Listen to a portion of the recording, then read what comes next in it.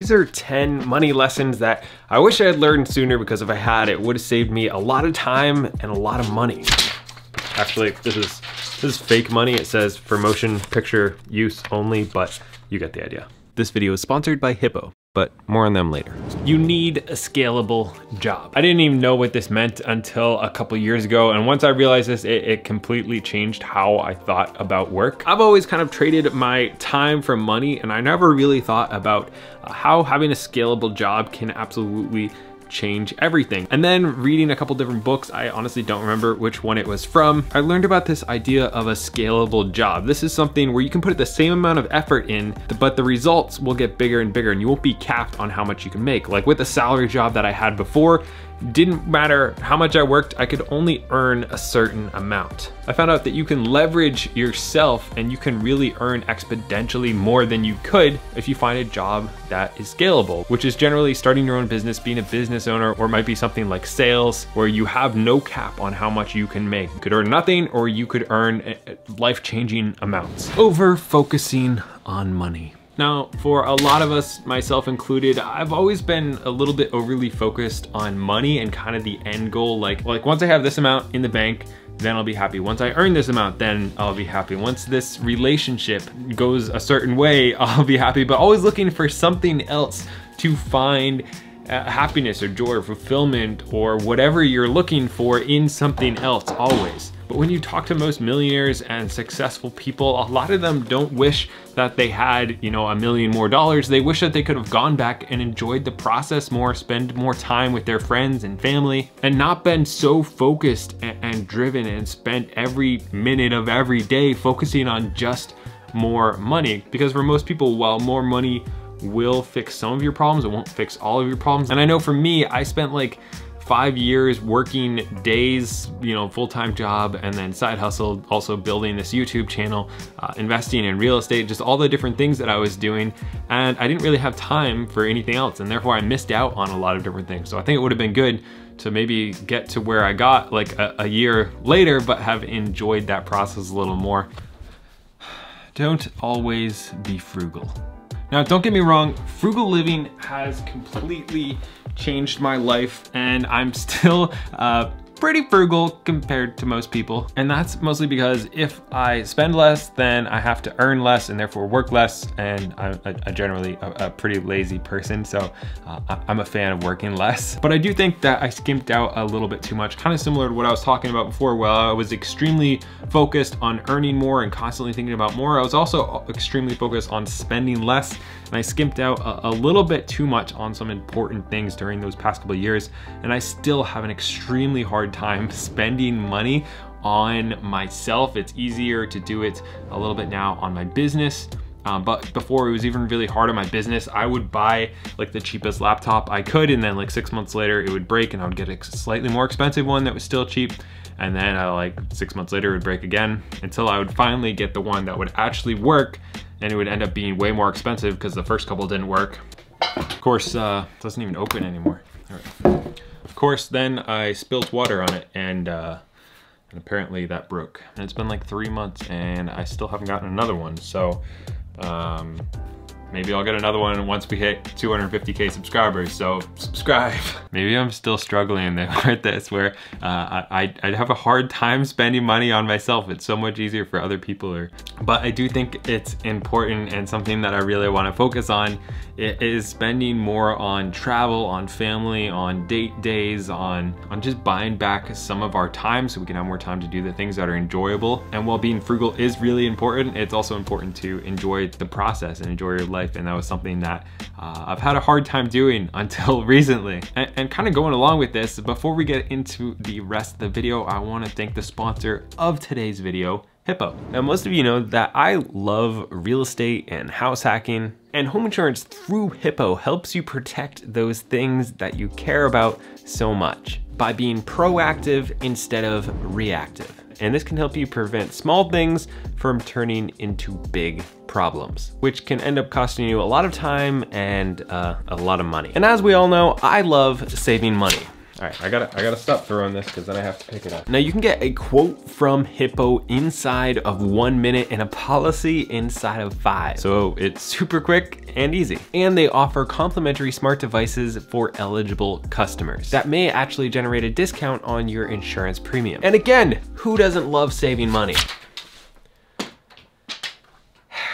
The smart devices can include a smart camera, a smart smoke detector, so you know, you know if your, your house is burning down. Whatever this thing is called that alerts you when your door opens, and this that goes in your water heater pan. Hippo customers that get the smart home discount can save up to 10% per year with a self-home monitoring system, and up to 13% with professional monitoring. Now Hippo is the number one pick for over 200,000 homeowners in the US and they just received 5 out of 5 stars in a NerdWallet ranking. So upgrade to smarter home insurance through Hippo for next level proactive detection. You can check them out with the link down in the description and get a quote in under a minute.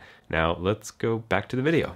Build cash flow over income. Now, when I've had very little uh, money, this kind of seems like a dream. Like you hear about it in Rich Dad Poor Dad from all these different people about building cash flow and buying assets. And you're like, that can't really happen. It's not something that I can really do.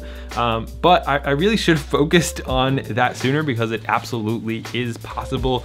Uh, the more I have met people in, in different spaces, especially successful people, a lot of them have automated relatively uh, cash flow from different places. Because if you focus on just growing your income, moving to a better job, working more hours you can get a promotion, the higher up you move, even though you, you might be earning more money, like what's the point of earning half a million or a million dollars a year if you're working 80 hours a week and you can't like actually enjoy your life or spend time with your family? It, like it's just not something that really appeals to me at all. And this was a huge like relief when I finally understood that that's something that I can actually do. I can actually build different streams of income from YouTube, from rentals, from different side projects that I do that don't rely on me showing up somewhere to work every single day. And honestly, like it's, it's such a more fun existence for me because I like I don't know, I have different problems and I can't really focus on things for certain for too long. Obviously, you've seen my videos. And it's just a lot less stressful when everything doesn't rely on one stream of income and you have multiples that if one dries up, you know, two more can take its place. That, that didn't make any sense. Don't invest in the hype. So I lost a lot of money doing this, at least a lot of money for me. And I was really just thinking that I was smarter than like everybody, which is really what you do when you're just picking stocks off of five minutes of research. You're like, almost gambling, but you think it's educated, but it's really not. And yeah, I lost a lot of money doing that. And that was until I read this book called The Simple Path to Wealth, which really talks about how investing in low cost index funds is gonna beat the market, especially people picking stocks like most of the time. And I just didn't believe it at first, and I thought I was smarter and timing the market and all that type of stuff. And yeah, for the most part, like a lot of those investments didn't work out as well, but when I just invest into index funds, all of those have worked out pretty well actually. And I could have also just saved hundreds of hours of looking at stocks and, and, thinking about them and researching by just doing the very simple thing as investing in index funds and not even thinking about it. I just really like to simplify my investing as much as possible. For me, uh, I do it all pretty much on one app now, that is Webull. If you guys wanna check them out, you can get up to 12 free stocks valued at up to $30,000. It, it's pretty much uh, just free money for opening up and funding an account with any amount. It's a limited time, so if you wanna do that, you can use the link down in the description. Valuing my own time. So this kind of happens in two different ways. First of all, valuing my time helps me spend less money uh, by saying that maybe if I work for $10 an hour, then if I spend $10 on lunch, it costs me an hour in order to buy that lunch. And that was super helpful for me, except I, I did it a little bit wrong and that was valuing my time at, at $10 an hour, which is what I used to earn. And I didn't really give myself enough value really. And now I try to think of it as whatever I earn, I, I kind of bump it up a little bit to kind of give myself a better mental picture of myself, I guess. Where now I try to value my time at $50 or $100 an hour or more. And that really helps me stay focused at work when I'm like, I'm earning $100 an hour right now. So I really have to work hard for that money as opposed to like $10 an hour. You don't really care. You're not gonna be that motivated. But when you value yourself that way, you work a lot harder, you, you be a lot more productive and you end up earning more money because you have a better like almost self-esteem because you're actually valuing yourself, which is something I didn't do for a really long time. Now, another thing I didn't really do was actually writing stuff down. Honestly, it seems like such a small thing, but especially your goals and financial goals, almost every single one I've written down has happened and a lot of the goals I had before just didn't happen. Obviously there's that stat that your goals are like 42% more likely to happen if you write them down. But like it's true, which is super cool. Like when I wrote down I'm gonna try to hit 50,000 subscribers by the end of that year, I actually hit it and I, I really didn't think I was going to. And then I did the same thing with 100K. And I did the same thing with some income goals and almost everyone I've written down has happened. And like, I don't know how this happens, but actually sitting down and, and, writing out some physical goals and putting them somewhere where you can see them every single day really helps me stay motivated and makes them more likely to happen. And it just comes from, you know, writing it down. So I've always been kind of uh, a little bit of an oddball compared to most people I know with the minimalism thing where I don't really spend all that much money. I don't really have all that much stuff. I don't want more stuff. Um, you know, we, we have one car. Most people we know um, that are that are married with a kid have two cars. Um, just like our entire lifestyle is a, a little bit weird. Even just having a job that nobody else I know, you know, makes YouTube videos. Very few people my age have rentals. Like I'm just a very odd person compared to most people. And for a long time, I kind of shied away from that. I didn't really like that uh, until I kind of realized that it's okay to be that guy who's obsessed about finances and that's what they talk about, who is really into bettering themselves, who wakes up at 5 a.m., who takes cold showers, who starts side businesses instead of focusing on their career, who doesn't go to college, like whatever it is for you that is that uh, choice that you think is better for yourself. Be okay with being that guy who's just a little bit different. It's fine. It's not a big deal. Don't worry about it. Jeez.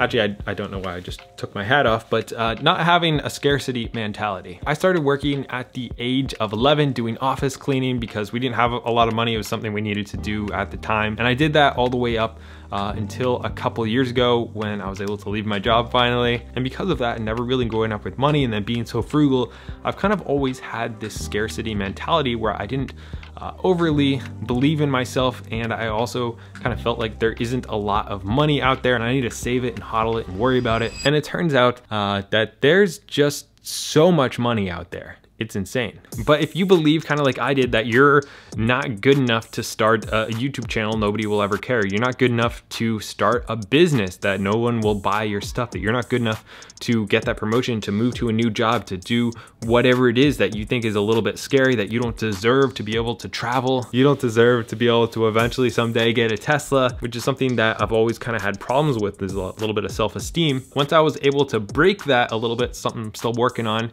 I've been able to earn earn a lot more money and have a lot more confidence in the things that I'm doing, which in turn has made me a lot happier uh, and a lot more successful at them when I'm actually like, you know what, I am decent at this thing and there's enough money to go around. And I don't have to limit myself in my beliefs that I can only make X amount a year. I can shoot for something that's 10 times higher than that and actually have a decent chance of hitting it because I know that I can put in the effort to go there. These other people who are earning 10 times more than me aren't 10 times smarter than me. They just actually took the chance and did that thing, which was really scary. So don't even worry about it. Reward yourself and celebrate your progress.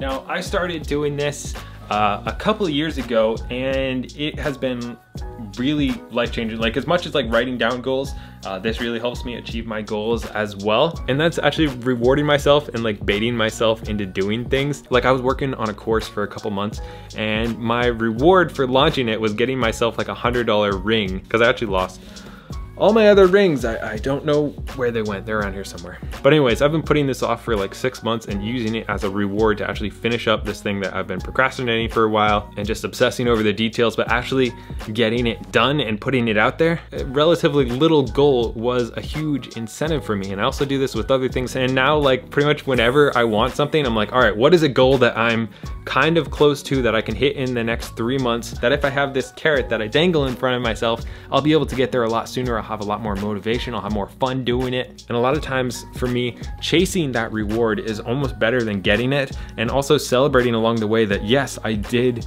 do this thing and kind of congratulating myself and not always looking for the future helps me at least enjoy the process a lot more. If you guys enjoyed this video, don't forget to subscribe. You can also check out Hippo with the link down in the description.